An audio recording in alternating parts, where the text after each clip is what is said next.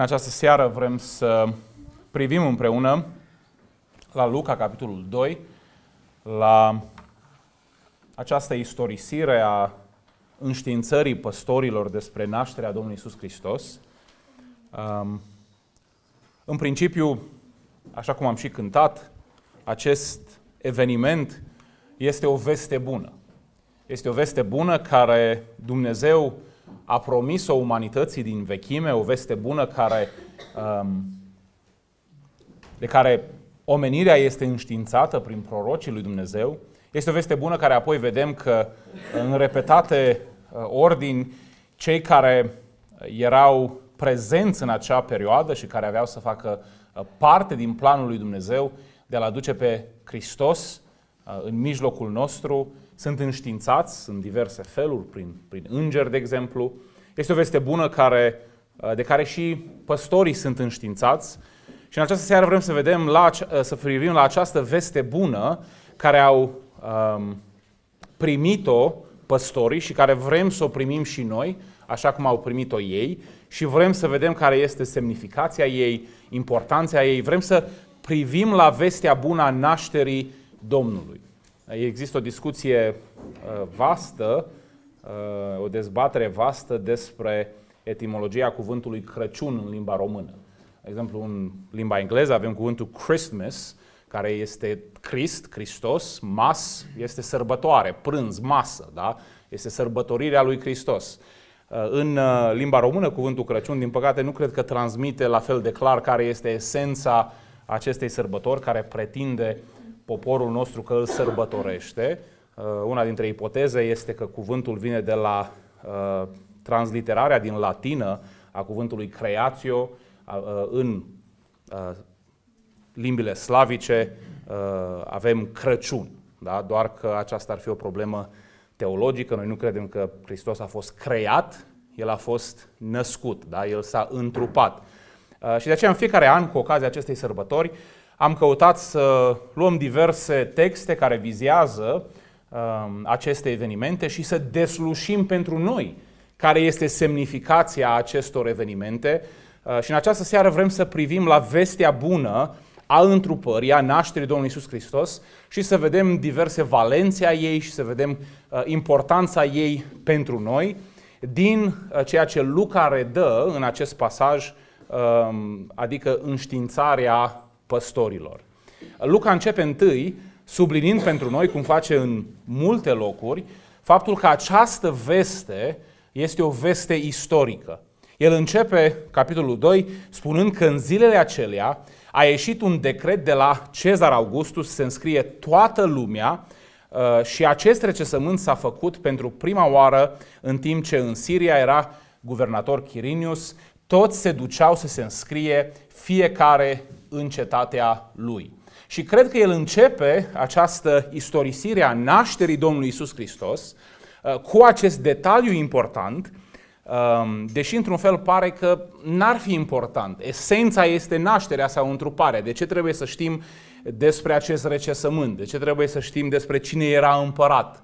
Luca vrea să sublinieze pentru noi că acest eveniment, această veste, este o veste istorică.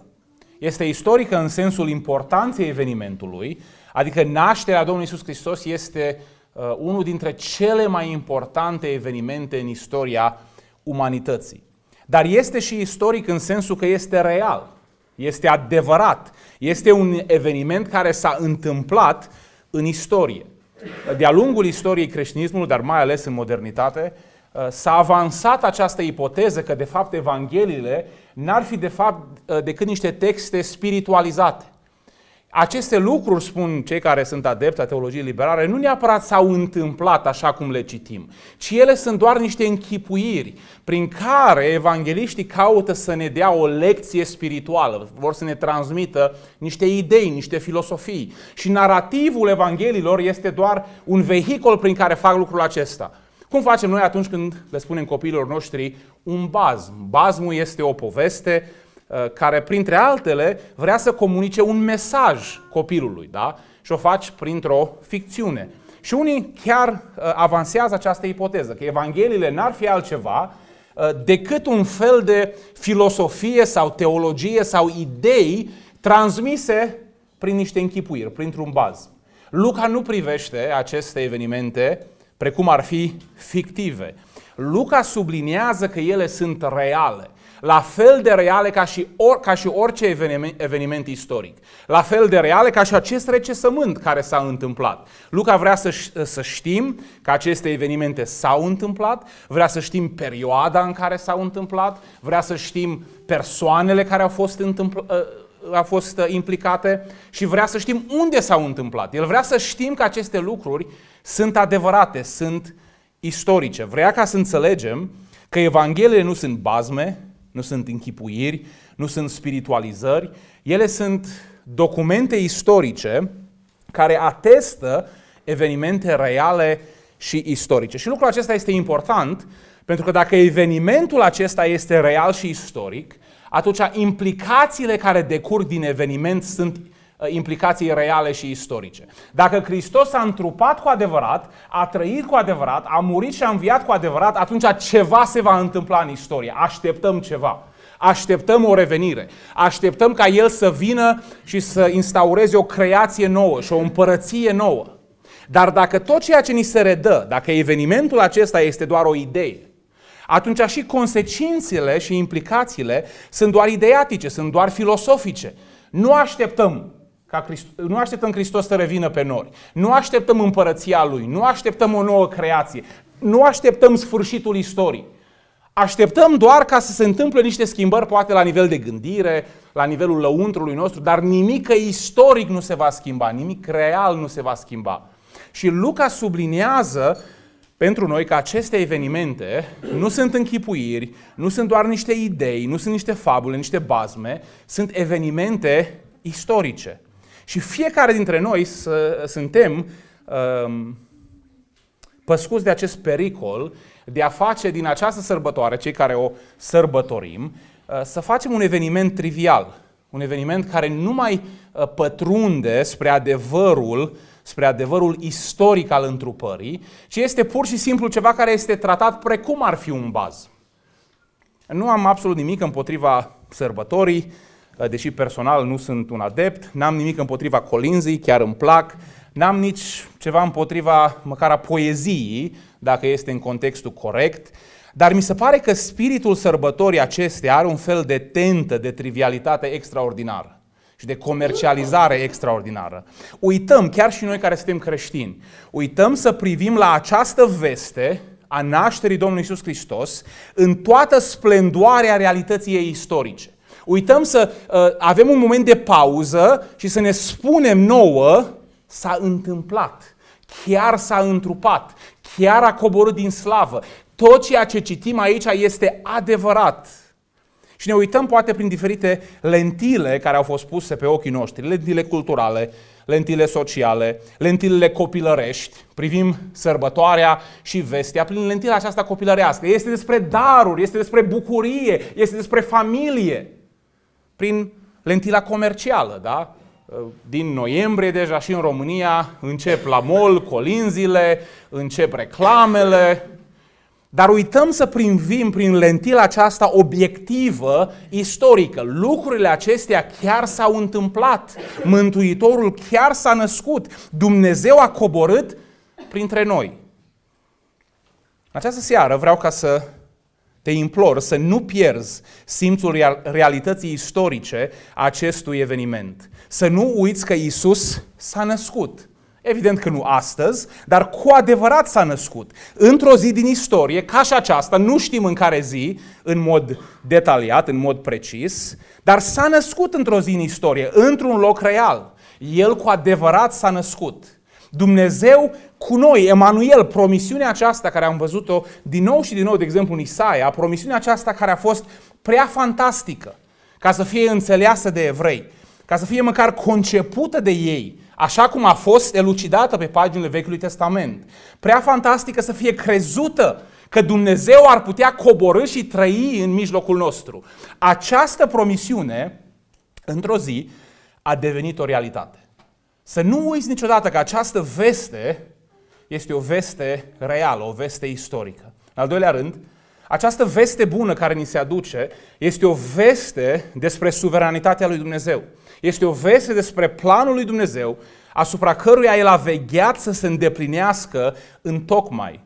Versetul 4 la 6 ne spune că Iosif a plecat și el din Galileea, din cetatea Nazaret, înspre Iudeea, în cetatea lui David, numită Betleem.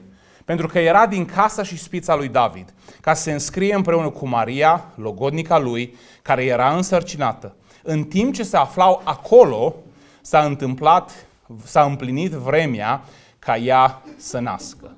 Este o poveste când o citim, sau o istorisire când o citim aproape banală. Avem un cuplu logodit, ea este însărcinată, sunt într-o călătorie și vine vremea ca ea să nască. Și totuși, în această poveste care la prima vedere pare obișnuită, fiecare detaliu este o dovadă a suveranității lui Dumnezeu. Fiecare detaliu este important pentru Dumnezeu. De exemplu, fiecare locație men- menționată aici nu este întâmplătoare, ci este rânduită de Dumnezeu să se întâmple în acel loc. De exemplu, dacă luăm Nazaretul, citim în Matei, capitolul 2 cu 23, Evanghelistul Matei ne spune de ce a fost importantă această localitate. S-a dus acolo și a locuit, aceasta este după nașterea Domnului Isus Hristos, s-a dus acolo și a locuit într-o cetate numită Nazaret, ca să se împlinească ce a fost spus prin profeți, și anume că el va fi numit Nazarinian. Matei explică că motivul pentru care Isus și familia lui trebuiau să se întoarcă la Nazaret și să trăiască în Nazaret este că așa a fost profețit de profeții lui Dumnezeu. Ei nu puteau să locuiască altundeva, ei nu puteau să se întoarcă altundeva. Acesta este planul lui Dumnezeu. De ce Betleemul? De ce nu s-au dus în altă cetate?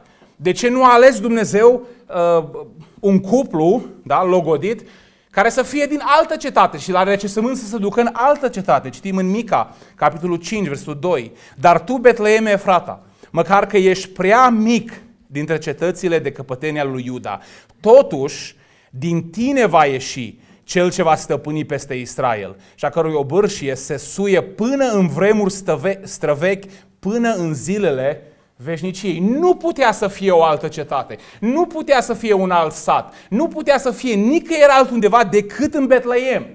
Păi dacă, ce s-ar fi întâmplat dacă, de exemplu, uh, începea travaliu mai devreme și n-ajungeau la Betleem? Nu putea să se întâmple lucrul acesta. Vremea trebuia să împlinească exact când a hotărât Dumnezeu. Locul trebuia să fie exact unde a hotărât Dumnezeu. Fiecare persoană apoi, fiecare personaj este important. Ni se spune, pentru că era din casa și spița lui David despre Iosif. Era important ca Iosif să aibă aceste calități, să fie din casa și spița lui David, pentru că conform prorocilor Vechiului Testament, Mesia trebuia să fie urmaș al lui David. Luca ne spune în capitolul 1 că în luna șasea, a șasea îngerul Gabriel a fost trimis de Dumnezeu într-o cetate din Galileea numită Nazaret, la o fecioară logodită cu un bărbat, al cărui nume era Iosif, din casa lui David și numele fecioarei era Maria. Și ne întrebăm, de ce Maria și Iosif? De ce oamenii aceștia? De ce Dumnezeu a hotărât să trimită îngerul la această Maria, la acest Iosif? Și ni se spune, pentru că Dumnezeu a avut un plan, un plan care este din veșnicie, un plan care este revelat în Sfintele Scripturi, un plan care trebuia să se întâmple în tocmai și din casa lui David trebuia să vină un mântuitor. Din casa lui David urma ca să urce cineva pe tronul Israelului și să domnească pentru veșnicie. Dar înțelegeți că nu doar trimiterea îngerului a fost rânduită de Dumnezeu. Nu doar asupra acestui detaliu a vegheat Dumnezeu, ca îngerul să meargă la Maria și la Iosif, ci asupra fiecărui detalii, detaliu din uh, aceste evenimente, dar nu numai din aceste evenimente.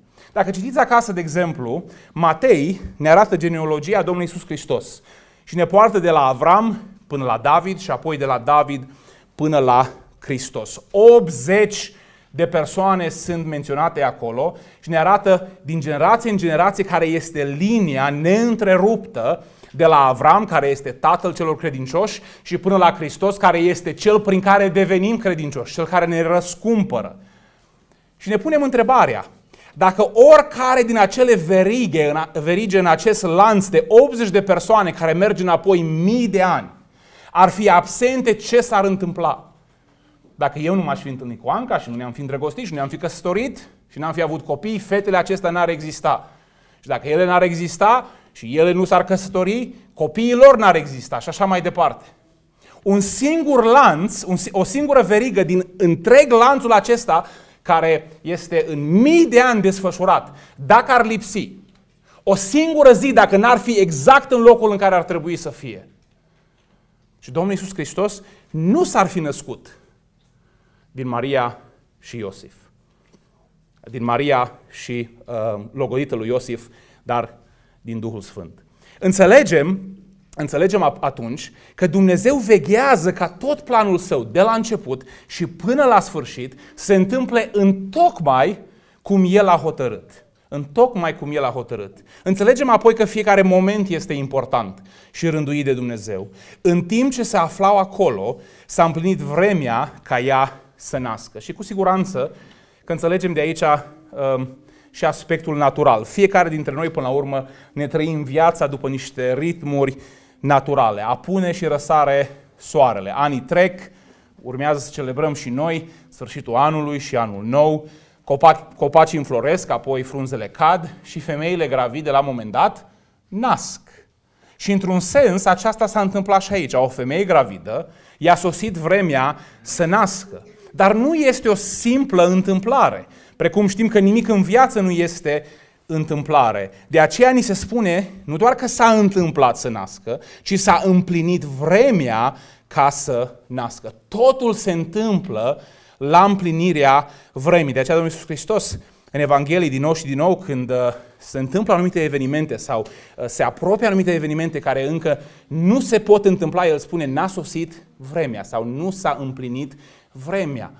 Totul din viața Domnului Isus Hristos, inclusiv nașterea Lui, se întâmplă, se întâmplă după planul lui Dumnezeu. Este o veste a venirii lui Hristos, dar este o veste despre suveranitatea lui Dumnezeu, care își desfășură un plan în istorie și o face în tocmai cum a hotărât El. Al treilea rând, această veste a întrupării este o veste a smereniei și a umilinței. Și când ne gândim la smerenie și umilință, în acest context din Luca 2, probabil că gândul nostru zboară în primul rând la păstori. Ei fiind personajele umile și smerite, neînsemnate, oameni simpli. Dar vestea umilinței este în primul rând despre Isus Hristos. El este cel mai umil și cel mai smerit în toată această istorie. Apostolul Pavel descrie această realitate în Filipeni 2, când ne spune, la versetul 6, el, adică Hristos, măcar că avea chipul lui Dumnezeu, totuși n-a crezut ca un lucru de apucat să fie deopotrivă cu Dumnezeu. Și s-a dezbrăcat pe sine, el descrie întruparea aici, s-a dezbrăcat pe sine însuși, a luat un chip de rob făcându-se uh, asemenea oamenilor. La înfățișare a fost găsit ca un om. S-a smerit și s-a făcut ascultător până la moarte. Și încă moarte de cruce. O, și când privim aceste evenimente, vedem cât de totală a fost smerenia. De parcă n-ar fi fost suficient de umilitor și de smerit ca el să coboare din slavă, să dezbrace de slavă și să ia asupra lui carne. El, creatorul, să ia haina creaturii asupra lui. Luca ne spune că smerenia din momentul nașterii sale a fost una deplină, versetul 7 și l-a născut pe fiul ei, cel întâi născut, ea l-a înfățișat și l-a culcat într-o iesle, pentru că în odaia de găzduire nu era loc pentru el.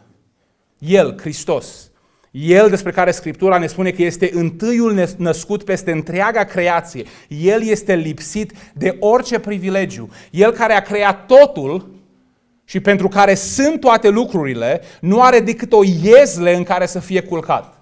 Care dintre voi, care dintre familiile noastre, care așteaptă un copil, ar concepe ca să se nască copilul într-o iesle? Noi ne plângem despre condițiile de la spitalul din Zalău sau din Cluj. Poate ne văietăm și despre niște condiții dacă mergem în America să naștem. Și cel prin care au fost create toate lucrurile se umilește până acolo încât ajunge să se nască într-o, într-o iesle, în mijlocul animalelor, într-un loc care nu era gândit pentru oameni, pentru copilași. Apoi, evident, când ne gândim și la păstorii neînsemnați și neimportanți, dar ei sunt beneficiarii umilinței. Ei, ei, oameni umili, beneficiază de umilința divină. Și nu doar ei, și și noi, și magii, și toată omenirea beneficiază pe urma acestei umilințe. Toți suntem beneficiarii umilinței divine. Dumnezeu coboară, să smerește și coboară la noi. El coboară pentru că El este prea înălțat, El este prea înalt, El este dincolo de această lume, este deasupra noastră. El transcende lumea aceasta, El este dincolo de noi. Și El trebuie să se umilească, El trebuie să se aplece asupra noastră. Și dacă nu s-ar apleca asupra noastră, dacă n-ar coborâ la nivelul nostru, noi n-am putea să-L cunoaștem. Dumnezeu este Duh și nu poate fi văzut și nu poate fi cunoscut decât dacă El se umilește și coboară și în Hristos avem actul suprem de umilință divină în care Dumnezeu coboară în mijlocul nostru încât noi să-L putem cunoaște. Și în același timp, acest act de umilință este un act de revelație. De aceea trebuie să ne amintim în această seară că vestea aceasta este o veste revelatoare. Este o veste prin care ne amintim că Hristos a venit să se facă cunoscut și să-L facă pe Tatăl cunoscut. Prin faptul că El s-a întrupat, El ni l-a revelat pe Dumnezeu. Istorisirea evenimentelor din jurul nașterii Domnului Isus se face printr-o serie de revelații sau de înștiințări. De obicei, prin îngeri, dar nu numai, vedem și alte soiuri de înștiințări, în care personajele implicate sunt înștiințate de această veste bună. Li se revelează o parte din planul lui Dumnezeu. Maria și Iosif sunt înștiințați printr-o revelație adusă de un înger. Li se spune care este planul lui Dumnezeu cu ei, dar nu doar pentru ei. Apoi vedem că păstorii, de asemenea, primesc o revelație prin îngeri. Un înger le spune această veste bună. Și apoi un cor de îngeri întăresc această proclamare și deodată împreună cu îngerul s-a unit o mulțime de oaste cerească lăudându-L pe Dumnezeu și zicând. Vestea bună, fraților, nu este doar faptul că Isus s-a întrupat, dar este și harul că această veste bună ne-a fost revelată și nouă. El să putea întrupa și tu să nu știi nimic despre aceasta. Ai realizat lucrul acesta? El putea ca să vină și tu să nu fii înștiințat despre lucrul acesta. Faptul că păstorii au fost înștiințați, faptul că față de ei Dumnezeu s-a revelat a fost un har, a fost o favoare care le s-a făcut. Dragul meu, consideră în această seară această realitate. Pentru tine, poate această perioadă reprezintă sărbătoarea Crăciunului, sărbătoarea nașterii Domnului Isus Hristos. Dar pentru peste două miliarde de oameni nu reprezintă nimic. Ei nici măcar două miliarde de oameni la ora actuală pe acest pământ n-au auzit numele Isus Hristos. Faptul că El a venit este cel mai mare har posibil. Dar acel har este înnoit, îmbelșugat prin faptul că se dă harul revelației. Ni se spune că a venit, se anunță venirea Lui și din generație în generație se spune Hristos a venit și s-a întrupat, Mântuitorul a venit printre noi, Mântuitorul a trăit și a murit și a înviat. Și fără această veste bună revelată, proclamată, Scriptura ne spune că noi nu avem nicio speranță. Și acest aspect revelator nu este doar un detaliu al evenimentelor, al sărbătorii, este o provocare pentru noi, este un imbold pentru noi. Pentru că la plecarea Mântuitorului, El dă acest mandat revelator sau proclamator, mai bine spus, bisericii. Să mergem în toată lumea și să-L descoperim pe El, să-L proclamăm pe El, să vestim vestea bună a Mântuitorului nostru, a întrupării Lui, a vieții Lui desăvârșite, a morții și a învierii lui în locul celor ce se încred în el pentru iertarea păcatelor. Pentru că fără cunoașterea lui Hristos, prin cuvântul acesta, veste bune a Evangheliei, faptul că El a venit nu ajută pe nimeni. Sau cel puțin nu pe cei pe care nu cunosc. Cum să se pocăiască? Cum să se încreadă dacă nimeni nu le predică, dacă nimeni nu le dă această veste? Dar Dumnezeu Dumnezeu s-a preocupat nu doar ca Mântuitorul să vină, ci ca vestea bună despre venirea Lui ca să fie revelată. Apoi, este și o veste, sau în primul rând este o veste, nu doar a întrupării, ci a mântuirii. Vestea bună nu este doar că un copil ni s-a născut, așa cum cântăm. Și este corect, un copil s-a născut, ci că acest copil este Dumnezeu întrupat. Dar vestea bună nu este nici măcar doar atât, că un copil s-a născut care este Dumnezeu întrupat. Aceasta ar fi doar o veste parțială. Te bucuri tu în aceste zile de adevărată veste, de adevărata veste bună cu ocazia acestei sărbători? Priviți ce veste completă primesc păstorii. Versetul 8. În ținutul acela erau niște păstori care rămăseseră afară pe câmp și stăteau de pază în timpul nopții în jurul turmei lor. Un înger al Domnului a apărut înaintea lor, înaintea lor și slava Domnului a strălucit în jurul lor. Ei s-au speriat foarte tare. Îngerul le-a zis, nu vă temeți, căci iată vă aduc o veste bună, care va fi o mare bucurie pentru tot poporul. Astăzi, în cetatea lui David, vi s-a născut un mântuitor care este Isus Hristos. Într-adevăr, nașterea unui copil este o veste bună. Toți ne bucurăm atunci când se naște un copil. Dar vestea bună despre care se vorbește aici nu este o oarecare naștere a unui copil și ar trebui să ne bucurăm că a venit un nou copil pe lume. Sau chiar că ne-a venit nou în familie. Vestea bună pentru care toți trebuie să ne bucurăm. Vestea bună care este singurul motiv care îl avem să nu ne temem, este că ni s-a născut nu un copilaș doar, ci un mântuitor. Hristos Domnul, vestea bună care este dată uh, păstorilor și care este vestită nouă, este că ni s-a dat un mântuitor. Și dacă cu ocazia acestei sărbători vorbim doar despre întrupare, doar despre copilașul născut, doar despre iezde, doar despre păstori și uităm ca de fiecare dată să proclamăm Mântuitorul care a venit. Să proclamăm faptul că Dumnezeu s-a întrupat ca să-și mântuie un popor și că a făcut lucrul acesta. Vestea este incompletă. Nimeni nu este mântuit pentru că crede că s-a născut un copilaș. Și nimeni nu este salvat pentru că crede că acel copilaș a fost Dumnezeu întrupat. Trebuie să crezi că acel copilaș, Emanuel, Dumnezeu printre noi, Dumnezeu cu noi, a crescut mare și a trăit o viață desăvârșită. A murit o viață ca și substitut în locul păcatului tău. Și a înviat și împreună cu tine te-a smuls din ghearele morții. Împreună uh, cu învierea lui te-a smuls pe tine din ghearele morții. Și te-a dus la viață.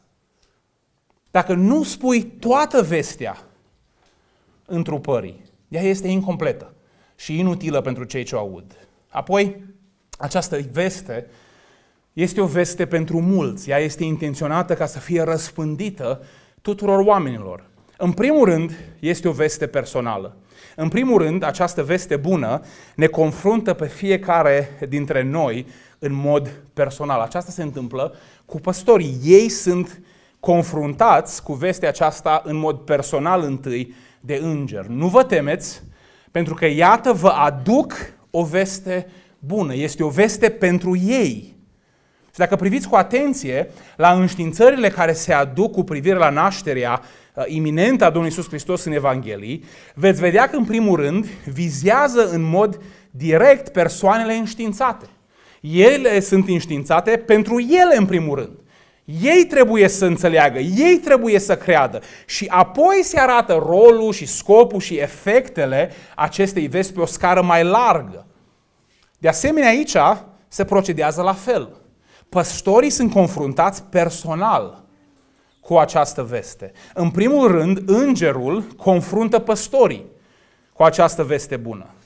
Vestea bună a unui mântuitor este pentru ei. Vestea bună a unui mântuitor este pentru tine în mod personal în această seară. Și nu lăsa ca acest aspect al sărbătorii să fie uh, generic pentru tine. Tu trebuie să-ți însușești această veste bună în mod personal. Tu trebuie să te confrunți cu ea în mod personal. Este irelevant și inutil să cânți colinzi despre întruparea Mântuitorului dacă nu înțelegi că această întrupare a fost pentru tine.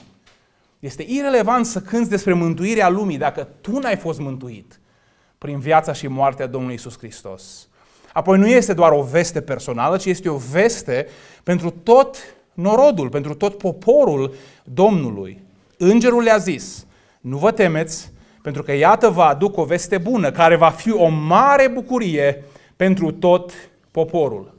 Vestea bună este personală, dar nu este doar pentru tine. Ea este pentru mulți. Este o mare bucurie pentru tot poporul.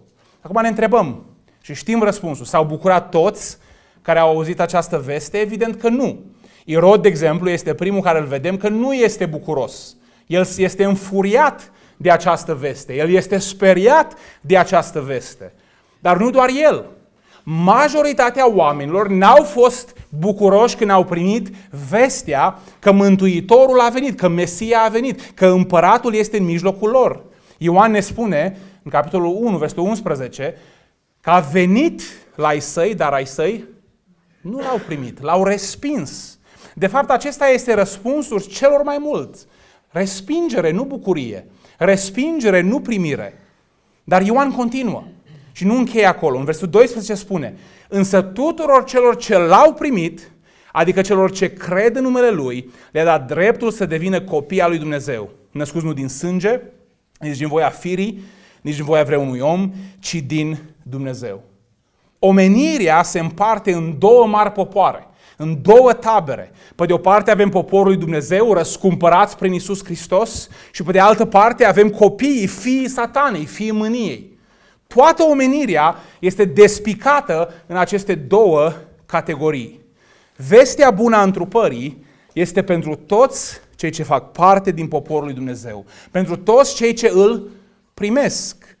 Îl primesc cu credință și cu pocăință, cu bucurie și umilință. Vestea întrupării nu este o veste bună doar pentru cei bogați sau pentru cei săraci. Nu este o veste bună doar pentru cei puternici și nici doar pentru cei slabi, doar pentru cei învățați sau pentru cei ignoranți, ci este o veste bună pentru toți cei ce îl primesc pe el cu credință. De aceea această veste trebuie în primul rând să fie însușită de tine și apoi trebuie răspândită la toți oamenii, ca toți să audă vestea bună, că ni s-a născut un mântuitor. Apoi este o veste bună care transcende când vorbim de impact lumea noastră. Este o veste cu impact cosmic. Aceste evenimente istorice rezonează dincolo de istoria noastră, dincolo de lumea noastră, dincolo de acest pământ. Cerul privește cu bucurie la îndeplinirea planului Dumnezeu și face lucrul acesta și astăzi. Știm că îngerii privesc cu atenție spre Biserica Domnului Isus Hristos și sunt uimiți la felul în care Dumnezeu lucrează spre răscumpărarea noastră. Apostolul Pavel, în Efeseni, capitolul 1, descrie acest plan tainic al lui Dumnezeu. Versetul 9 ne spune că El, Dumnezeu, a binevoit să ne descopere taina voii sale, potrivit cu ceea ce plănuise în El însuși, după buna plăcere a voii sale, ca să o ducă la îndeplinire, la împlinirea vremurilor și anume să le aducă pe toate împreună în Hristos, cele din cer și cele de pe pământ.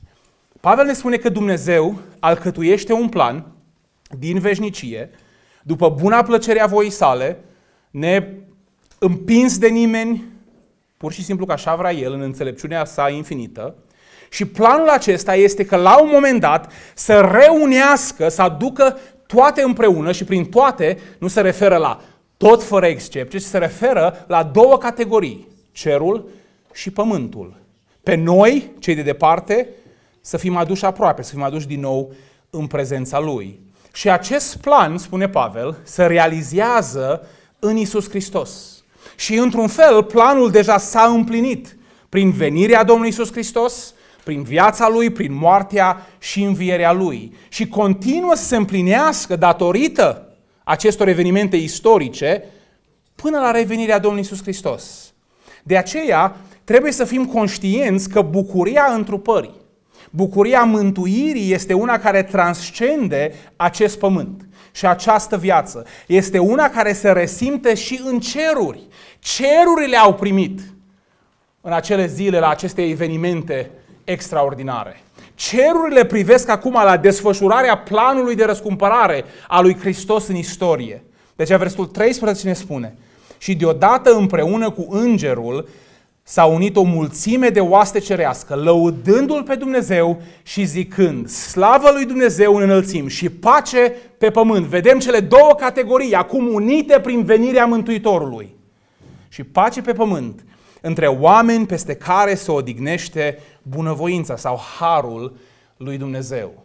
Tot cerul s-a bucurat de venirea Domnului Isus Hristos. Și tot cerul se bucură astăzi când privește spre Biserica Domnului Iisus Hristos și vede că jertfa Mântuitorului nostru este eficace. Planul său se desfășoară fără a eșua, pentru că El a cumpărat împlinirea Lui prin moartea sa și prin învierea, învierea sa.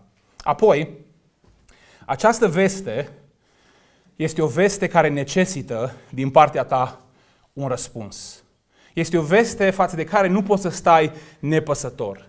Priviți care este răspunsul și reacția păstorilor la tot ceea ce ei au auzit. Versetul 15. După ce îngerii s-au întors de la ei în ceruri, păstorii și-au zis unii altora, să mergem acum la Betleem și să vedem lucrul acesta care s-a întâmplat și pe care Domnul ni l-a făcut cunoscut. Vedeți cele două aspecte. Da? S-a întâmplat venirea Mântuitorului și ni s-a revelat venirea Mântuitorului. Ca atare trebuie să facem ceva. Trebuie să răspundem cumva. Și ce fac ei? S-au dus repede și au găsit pe Maria și pe Iosif și copilul culcat în iesle. Ei au primit această veste bună, ei au crezut această veste bună și au răspuns în credință, mergând la Betleem, să caute pe Mântuitorul care li s-a făcut cunoscut care li s-a vestit prin vestea bună transmisă de îngeri. Dragul meu, în această seară ți s-a făcut cunoscută vestea bună a Mântuitorului nostru, a întrupării Domnului Isus Hristos, pentru ca El să trăiască acea viață desăvârșită în locul celor ce se încred în El, să moară în locul lor și să învie ca să-i ducă cu, ei, cu El în slavă. Întrebarea este care va fi răspunsul tău la această veste bună. Vei merge cu bucurie la El, la Hristos, îl vei căuta să îngenunchezi și să aduci închinarea înaintea Lui, sau îl vei ignora și îți vei întoarce spatele. Vei uita de el după ce trece acest uh, sezon de sărbători, după ce prăjiturile au fost mâncate și colinzile au fost cântate și cadourile au fost desfăcute. Tu uiți de vestea bună a Mântuitorului nostru. Dragul meu, această veste care ai auzit în această seară că ni s-a născut un mântuitor și că numele Lui este Isus Hristos, necesită un răspuns. Te confruntă în această seară să dai un răspuns. Vei primi sau vei respinge? Vei crede sau vei rămâne sub judecata lui Dumnezeu? Și în ultimul rând, vedem că această veste pentru cei care o primesc este o veste care produce transformare. Nu poți primi vestea și te întâlni cu Mântuitorul și să rămâi la fel. Păstorii care primesc vestea bună și care se întâlnesc cu Mântuitorul și vin și aduc închinare, pleacă radical transformați. Și versetul 20 ne arată această transformare. Apoi, păstorii s-au întors. Unde s-au întors? S-au întors la câmp. S-au întors la viața lor, la slujbele lor, dar s-au întors altfel s-au întors cu o nouă perspectivă, cu o nouă atitudine, cu o nouă inimă. Păstorii s-au întors slăvindu-L și lăudându-L pe Dumnezeu pentru toate lucrurile pe care le-au auzit și le-au văzut. Au văzut că sunt în tocmai cum li se spusese. Păstorii n-au rămas la fel, n-au plecat și au continuat viața de parcă nimic nu s-a schimbat. Ci au mers înapoi și tot păstorii au rămas, tot cu oile au lucrat, tot pe câmp au fost. Dar inima lor a fost radical transformată prin această veste și întâlnire cu Mântuitorul. Inima lor acum, din inima lor se revarsă slavă și laudă la adresa lui Dumnezeu. Și mă rog pentru tine, ca și tu să primești în această seară vestea bună adusă ție. Să cunoști pe Mântuitorul nostru, pe Domnul Isus Hristos și să pleci din mijlocul acestei adunări dar să pleci altfel, să pleci transformat. Să pleci slăvind și lăudând pe Dumnezeu. Pentru că prin ochii credinței ai văzut că tot ceea ce ți s-a vestit din Sfintele Scripturi s-a întâmplat în tocmai cum a spus El. Și s-a întâmplat ca eu și cu tine și toți cei ce ne încredem în El să primim mântuirea prin Domnul Isus Hristos. Amin. Amin.